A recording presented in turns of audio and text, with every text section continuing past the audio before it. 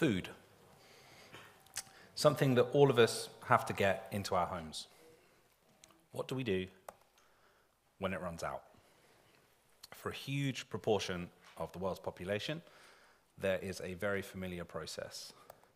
We jump in the car, we drive down to our supermarket, we go up and down the aisles of the car park trying to find somewhere to park. We go up and down the aisles of the supermarket trying to find everything on our list. We queue behind other families and other screaming children, some of them our own. We pay. We have the privilege of packing all of our own groceries. We carry them back to our car, and we drive home, ready to repeat the process again next week. So at Ocado, we don't really think any of that should be necessary. We are on a mission to change the way the world shops. My name's Matt. Uh, these days, I'm head of new technology development in a division called the Office of the CTO at Ocado. That's our research and development division, and uh, I run a small research lab here in Stockholm. Uh, there's a couple of my colleagues here today as well. Please do come and say hello after the talk if you'd like to know more about what we do in Stockholm specifically. So, the problem that we're trying to solve at Ocado is an interesting one in terms of logistics. If you think about the last time you bought something online, uh, usually in the UK, we'd take Amazon as an example, but you haven't quite been invaded by them yet, so we'll have to uh, maybe talk about Webhallen or Dustin. But the last time you bought something, how many items were in your basket when you checked it out? Usually one or two, sometimes five, very rarely more than 10. The average basket size for grocery is 50. That's across three temperature regimes, the ambient, chill, and frozen selection. And we have all sorts of different rules about how we should pack things because we can't put bleach in with the strawberries and we can't put the milk on top of the eggs. So it's just a very, very difficult many to many sortation problem that we're trying to solve that doesn't actually exist in many other logistics sectors. We also have hugely demanding customers. So our UK operation, we offer a one-hour delivery slot staggered every 30 minutes through the day from 5.30 a.m. until 11.30 p.m. We also have incredibly accurate deliveries because we don't do this. So the vast majority of online groceries that you can buy today in most countries around the world are fulfilled in store, which means people are competing with other customers to get the products that you've ordered. And they can't guarantee that it's in stock and someone else hasn't taken it across off the shelf before they arrived. So we have no stores, and everything that we sell comes from centralized customer fulfillment centers that we call CFCs. So we operate what's called a hub and spoke model in logistics. The three large white markers on this map are those fulfillment centers where everything is picked and packed, and it's either delivered directly from there or sent further to a spoke site shown with the dark markers uh, for transshipment. And because we have this model, we can know everything that's available to promise our customers, which allows us to have uh, industry leading uh, accuracy of our orders. You get what you actually ordered. We also, by centralizing, can have massive amounts of automation to augment and increase the efficiency of our human operators. So this is an example of a goods-to-person pick station. A pick operator can stand still. The product's brought to the pick operator in the green box, that might be your eggs or your milk, and your shopping's being aggregated in the red box on the left-hand side. And that allows us to pick four or more times faster than you can in the equivalent store pick. So usually about 10 plus items a minute in one of these facilities. And that kind of facility, the photo that's shown here, has a huge amount of machinery inside it.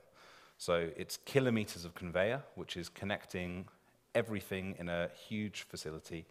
Um, to give you a sense of how that looks, I've got a quick video of a visualization here. So it's a four-story building. This is a schematic of the conveyor network with the floors taken out. And you can see these long aisles, uh, and these boxes shown in blue are traveling down the aisles, collecting the items that the customer wants. So this kind of warehouse, notable for its lack of robots, given the subject of this talk, is how we used to do things. So it's important to show this to understand its limitations. These, these facilities would be considered state of the art in almost all logistics sectors in the world. We've been doing this for more than 10 years now, and we know it's got some shortcomings. So you have to build everything up front because to stock your full range, you need conveyors connecting your full range. So you need your capital very early. You also have single points of failure or very expensive redundancy and extra conveyors. And it takes two to three hours for one of those boxes to actually travel through the site. So that puts uh, a lower bound on how quickly you can deliver things to your customers. So we now do things a bit differently. Uh, we have a system that looks like this. So this is swarms of robots that we just call bots, traveling around on a grid structure with a hoist where they can pick up the top box from stacks of boxes stored under the grid. They lift the box into their belly, and then they drive around, uh, controlled by a central planning system written in Java, which is shown with the blue markers here. Now, that lets us take our whole range, put it in very compact storage, and enable this same goods-to-person operation.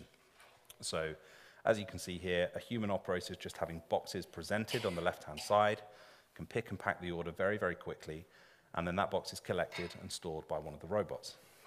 We can now pick a complete customer order in around five minutes because we've moved everything to be very, very parallel. So this is really important as the world moves towards uh, demanding more immediacy in a lot of e-commerce. So we can build small centers near our customers, and we actually are trialing a new service in West London at the moment where you can order your groceries, and from the moment you press buy in the app, we'll have it in your house within the hour. And actually, our average delivery time is below 30 minutes.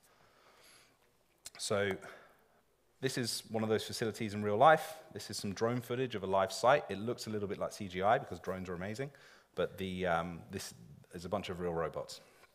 And the robots are, quite serious machines. So uh, I've got some stats coming up, but I'll let this run for a moment because it's a nice video. So let's take a look at what these machines are actually doing. So these grids are enormous. Uh, the one in that video is about 240 meters long. Uh, it would have about 600,000 boxes stored inside it. Uh, as we see here, three football pitches in size, thousands of them in operation, all from one central Java system doing the control. They move pretty fast and they pass each other with a five millimeter clearance. So there's some very tight tolerance engineering in the, in the site as well. Uh, and they're big, heavy machines carrying 35 kilogram payloads. Now, as you see here, we talk to each one 10 times a second. So there is a, a real uh, real-time requirement on this system as well, which is interesting when you're working with Java. So, having a look at the general system, there's two main code bases at play. We've got the C firmware that's running on the bot. We actually use a Java simulation to test that firmware, which I'm not talking about today, but do come and ask me afterwards if you're interested. And then we've got the control system. Now that's responsible for how every single bot moves, what it does, when and why, and where every single box lives in the system. It's plain old Java. It's an event-based architecture, and it has to make sure things don't crash. It has to handle stock coming in from suppliers, this picking process where we're aggregating all of the products, getting them in the right box at the right time, the outbound process of pulling all the completed orders together to go out on a van or a trailer, and all of the other things that go into running a production site. So maintenance, charging, re-optimizing the layout of boxes between shifts in downtime overnight and that kind of thing. So why Java? Often get asked, why not C++ for a real-time system? And it is, of course, a trade-off between speed of development and performance. Except some of the performance is a misnomer because, as I'm sure lots of people in this room know, you can write Java code that can run just as fast as C if you're doing it right. So we do, of course, have to deal with garbage collection. That is uh, probably the biggest single technical hurdle when working in real time. I'm going to talk a little bit more about that shortly. But for us, a high-level language where we can move fast is fantastic. The huge ecosystem of libraries and tools, the ease of debugging with the JVM is, is unparalleled. The fact that it's an evolving platform, so we benefit for free from improvements in developer productivity and application performance just by choosing Java is a huge win. And we're a reasonably large growing company. So the large global developer pool, the fact that it allows internal mobility between our teams as well, because we don't just use Java for control systems, it's our core language at Ocado, are all big ticks in the Java box. Uh, we're platinum sponsors the Adopt Open JDK project. We've such a vested interest in the ongoing success of Java. We felt that was appropriate. We're proud to be supporters. So what do we actually do with it? So one of the main things that makes the system that you saw in the videos possible is the simulation that the control system is developed against. And what, what are we simulating? So it's primarily hardware, but we actually include people in that, uh, in that equation because they are certainly physical things moving around. So we have to simulate because we need to make sure that we've designed the right warehouse before we build it. And these things are tens or hundreds of millions of pounds to build. So it really is important to be able to test things ahead of time, not just in terms of code, but in terms of the stuff you're actually going to build. We need to evaluate algorithmic improvements without hoping that they don't kill our warehouse performance. We need to move fast in terms of software development without needing a team of testers to run physical hardware for us. We need to inject errors in a way that doesn't actually cause downtime. And we also need when we change an algorithm that might look great in production today, we have to evaluate it against the end game performance of that warehouse because these things ramp up over time uh, in line with customer demand. So we have to check them against our future profile as well. So simulation is great for all of those things, but it is also, of course, just an approximation. And you have to always bear in mind if you develop against simulation, how you actually flick the switch into a real production environment later. Uh, and there's a bit of discipline involved in getting that right. So we model the software systems with which our control system interacts. They're usually not mocks or stubs. They're actually usually simplified re-implementations um, to allow us to feed the input events like customer orders, for example, coming in to decide what we do in the shed. We have to model all of the hardware that's running, so that's the bots themselves and also all of the other MHE, so that's conveyors and uh, the pick stations that you saw the operators working at, uh, and all of the people who actually make things happen because the pickers are the people who do the real work. So, sometimes you need to make a trade-off between the fidelity that you need and how easy it is to implement. And an example that's quite good for demonstrating this is how a bot moves. So in the real world, a bot moves a little bit like this. Speed time graph, and you can see the curved corners in that graph, which is the, the jerk phase, the rate of change of acceleration there. If you were a physicist, that would be very important. If you're someone who's writing the actual code to calculate where a bot is at a given time based on a jerk-based model, you're less enthusiastic about it. We've done it. It wasn't that much fun. And we know now that it's much, much easier to use a constant acceleration approximation, which is more than accurate enough given that we only actually operate at a 100 millisecond uh, interval in terms of how the bot communicates in the real world. So we don't need that level of fidelity underneath. And these kind of uh, trade-offs you, you learn a little bit when you start to operate in this space.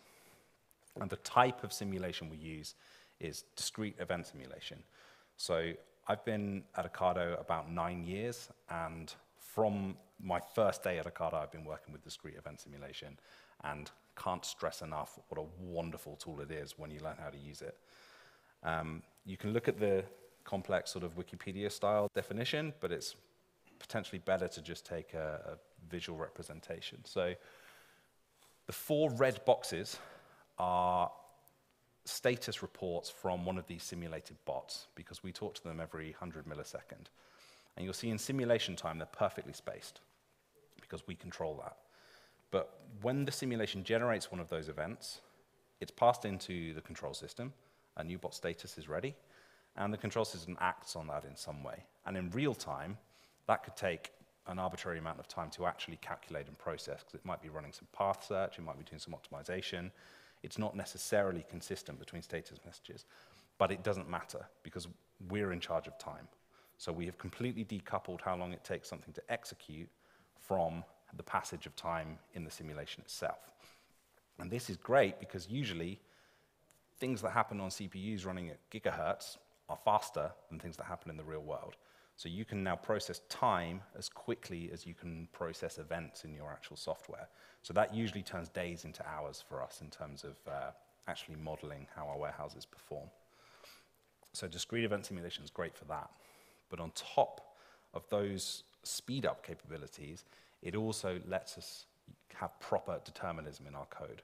So all of our test cases and our simulations are completely repeatable for the same input data and parameters, uh, even though they're enormously complex systems, because we're controlling time.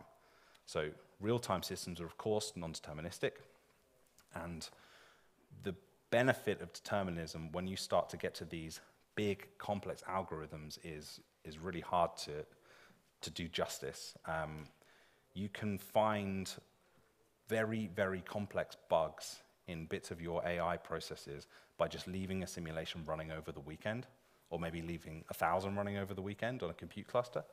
And you can come back on Monday and one of them failed, and you just put a breakpoint on the place before it failed and hit go again, and you know that you're going to hit the precise moment where the error occurred because it will do the same thing. And for bugs that you don't know exist yet, that's a really powerful tool. So we actually test for this in our CI pipeline, uh, which is actually as simple as run the same simulation twice and diff the event log. Because when you get any kind of divergence, there is typically a butterfly effect in these systems. You'll get the same aggregate performance, you usually get the same rates, but you will not see the same events. So three things you need to do with a discrete event simulation to achieve determinism in your code. You need to look at time, scheduling, and iteration. So we can go through these with some examples. The first is time, obviously the most important because we're controlling time, and that's the purpose of this simulation.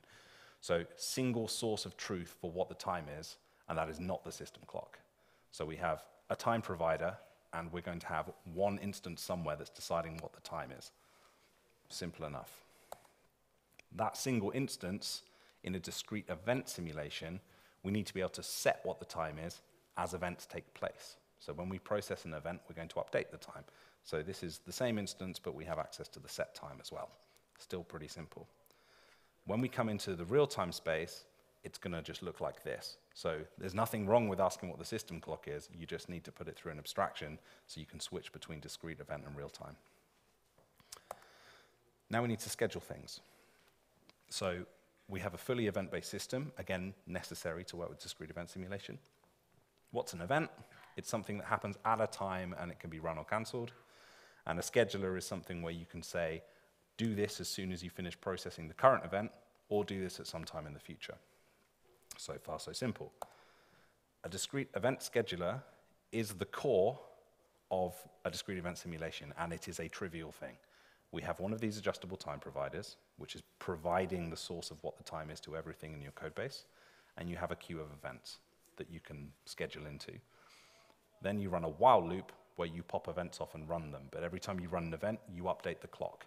So now that we've processed an event, next time someone asks the time, we know what it is. And because we have to discretize all of our modeling to fit into this space, that always is the correct time because nothing happens in the spaces between. So we obviously have a real-time version of this as well, but we'll talk about that in specific detail in a moment.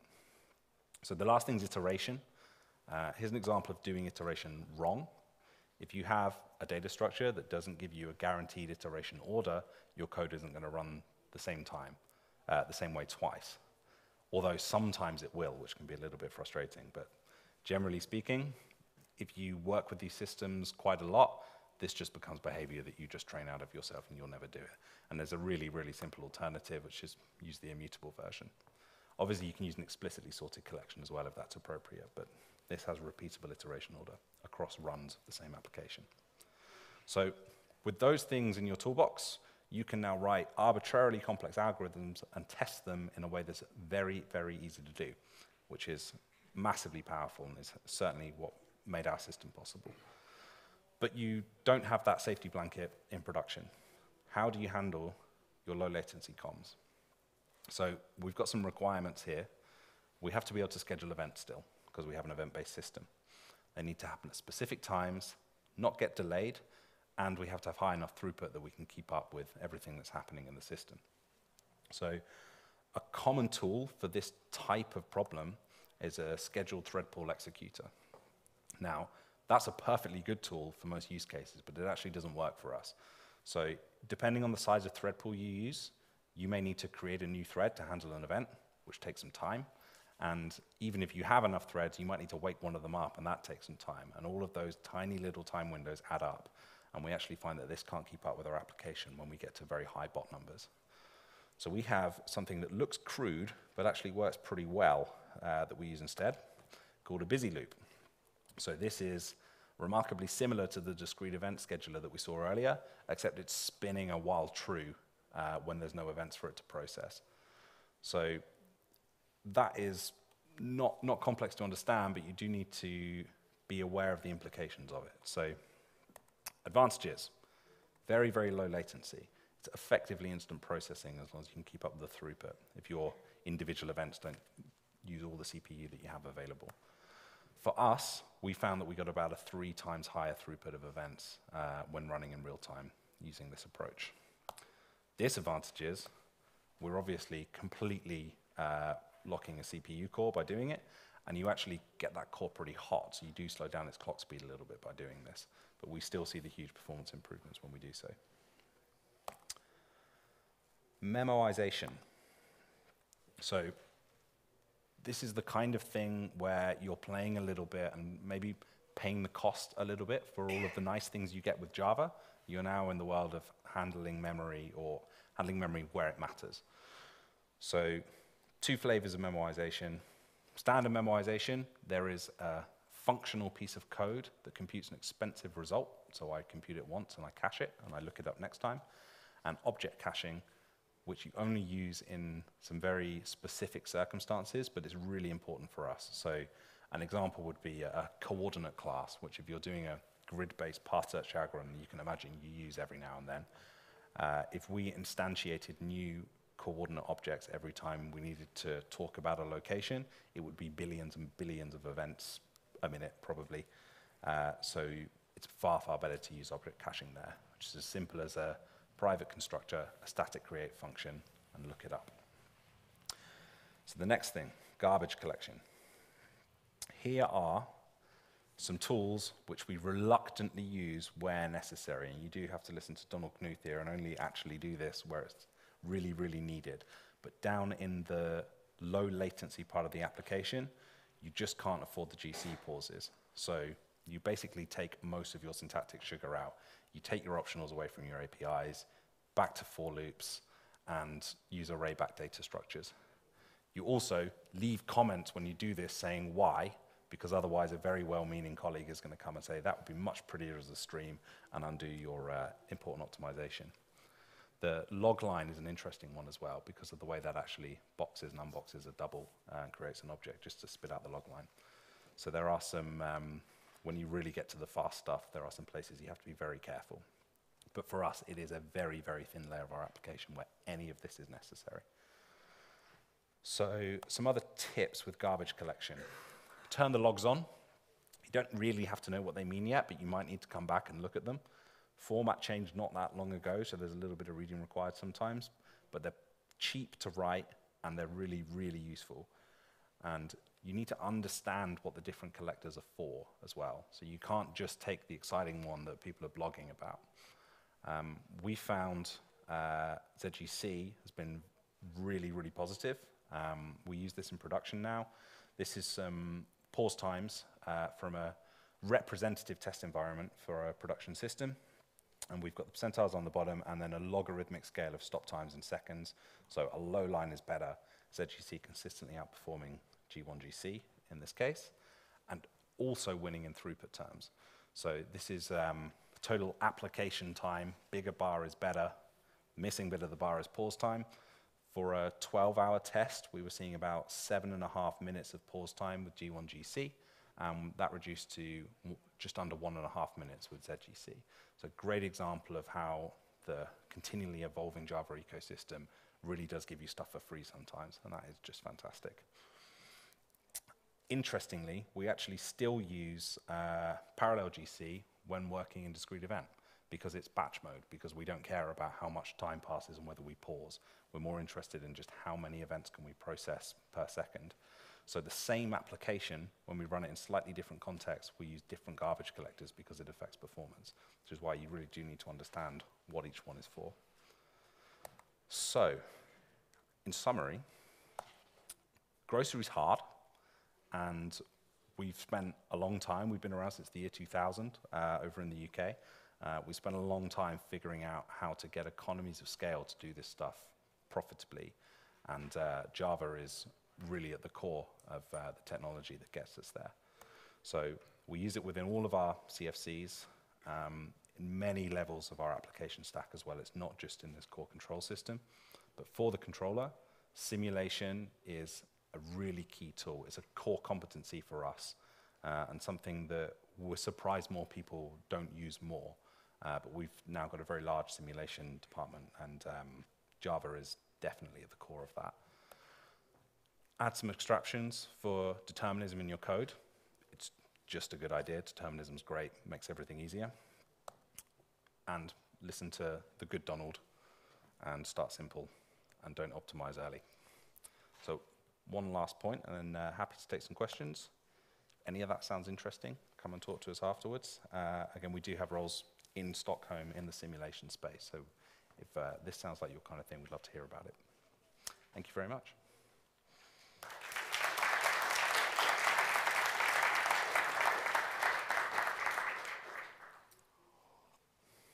Hello. Uh, is there any questions?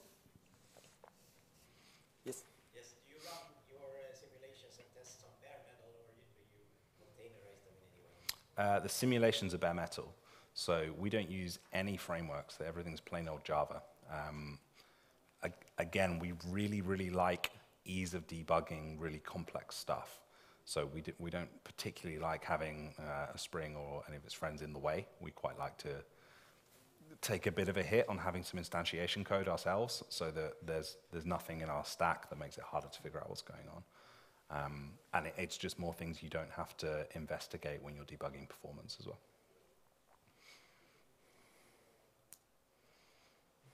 Some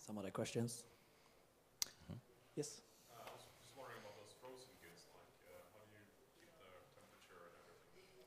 So frozen is actually not in one of those. So uh, we run in ambient and chill. Uh, they've ev- even that difference has got some challenges in terms of battery chemistry and how electronics fares in the cold and that kind of thing.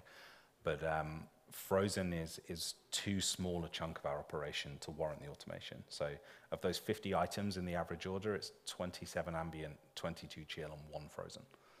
Uh, so it doesn't doesn't qualify yet. It's on the, the longer to-do list. So it's a trolley pick operation there.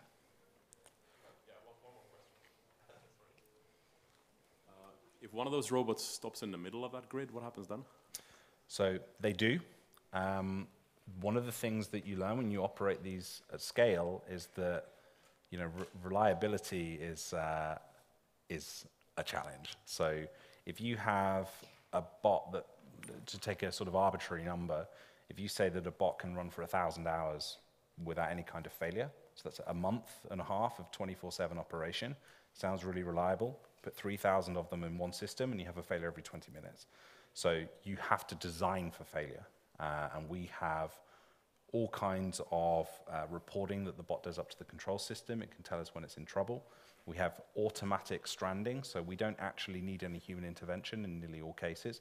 If a bot has some kind of issue, it will tell us it's had an issue, and if we can either limp it home, uh, if it can still drive around, and if it's had a more serious issue, then we can just exclude the cell that it's on, and we usually perform what's called a dynamic replan. So we'll strip out any paths that intersect with that cell and replan them. Sometimes uh, we can't keep up with that planning, so we do what's called a controlled stop, where we delete the plan and recalculate it, and we stop for maybe 10 seconds. And um, we just continue. And because grocery has, um, there's a shape of the day, so we start at about 7 p.m. to start picking to get the earliest orders out to trunk to a spoke site, etc. There, there's a, a profile and there's a, a quiet window where we're mainly doing housekeeping operations on the grid, moving boxes around to re-optimize, and we can send engineers out then to collect any bot that's had a serious failure. I noticed that on the video, your robots are all uh, square or rectangular. Have you ever considered other shapes like hexagons? We thought about it. Um, we we didn't come up with anything clever enough to warrant it. So it's a more expensive machine. That's that's the minimum number of wheels, right? Which is eight. So as soon as you go to a hexagon, you're suddenly a, a 12-wheel machine, and, and you have to buy more wheels and motors and everything else. Um, it's Shorter paths. sorry. shorter paths. So, so there's certainly a trade-off between how many of the machines you need because you can plan more optimally uh, and how much the machine costs. I don't think anyone's come up with a smart hexagonal routing algorithm yet at Ocado, even as a test project. Um, but I, I suspect it drives more cost. Uh, both, it, it, there's the cost of the bot and also the cost of the box, for example, which then gets more expensive as well.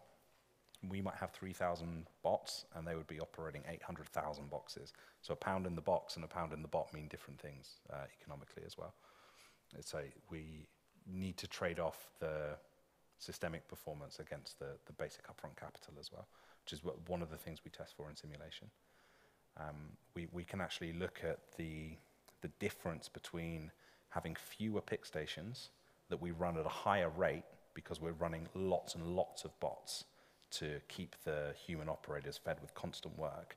But because of the congestion around those stations, you actually pay a disproportionately high cost in bots. So you're trading off the operational cost of the human labor against the, the capital cost. Um, and we, we can test for all these things in simulation um, because the simulation is running the real control system. So it does sort of speak the truth in terms of what the performance of the system is.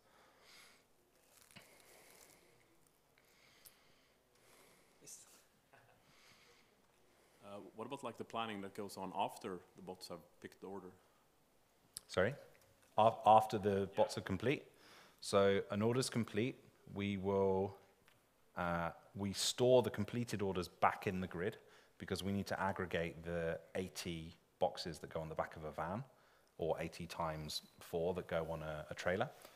And we then have a large Java routing system that's doing all of the optimization of the actual on-road uh, van fleet. So that's in-house as well. And we have uh, real-time updates of those with all the fresh orders coming in as well. So we could still be picking in one van and making changes to the route because someone just ordered something. And with the immediacy that's offered here, the cutoff window can be really late. So we can actually inject a new order and change the van's route and everything's sort of tied together. So having all of these processes in-house is, is really, really powerful.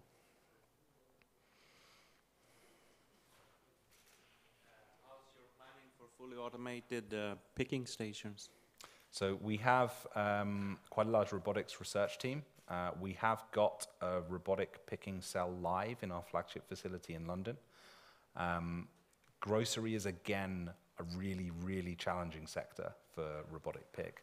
So we range 58,000 product lines, uh, and that's everything from the type of simple cardboard box that a lot of e-commerce would handle, up to things that are incredibly hard for robotics. So if you imagine uh, a polythene bag full of apples, which you would grab trivially. You have a reflective and transparent surface, and you have something where you have to grab one of the interior objects to get a candle on it, and then as you pick it up, its center of gravity shifts and it exerts forces on the actuator. It's staggeringly difficult robotics, which only really exists in the grocery space. So we, we play in that field, and we, we're aggressively pursuing it. We're trialing it live. We're not picking the full range yet. Yeah, very interesting simulations. Okay, I actually have one question too. Uh, Sure. On the simulation, how do you, do you have special handling of concurrent events? Yes, uh, that's a really fun thing you can do with discrete event simulation. Yes. So to, to run the big sites, the many thousands of bot sites, you have to be able to uh, split over multiple machines. It is a cluster that actually keeps that uh, keeps the throughput up. So how do you actually make sure that works? Well, what you do is you put it through the scheduler. So instead of I execute an event, it pauses the clock for everyone because I'm a discrete event simulation and I get a result instantly. You actually schedule an event to say that the computation is finished and then act on that. And you can then, of course, put randomness in how long that takes, so it becomes a sampled thing. And that finds all of your out of order problems that you would typically have had to debug in a nasty actual concurrent space. So we wrote all of the parallelization that we use in production against a repeatable discrete event simulation, and then just just chucked Akka at the bottom of it and turned it on, and it worked. It, it's phenomenally powerful. But you you do have to um, explicitly code for it because discrete event is inherently single-threaded. Okay, any more questions? Well, thanks, Matt. Thank you very much.